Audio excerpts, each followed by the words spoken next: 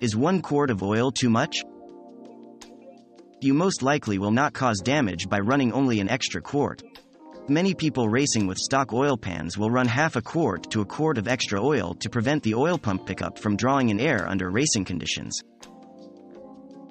Can I drive a short distance with too much oil?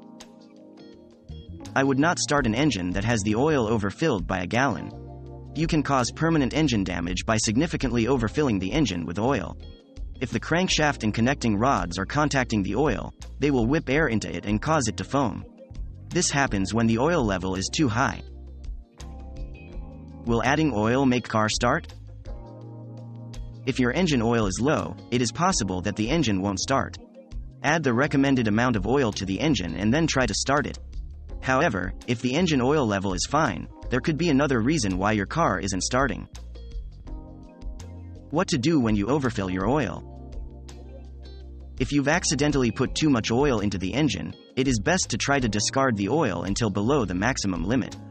Driving with too much oil will only make your engine deteriorate quickly.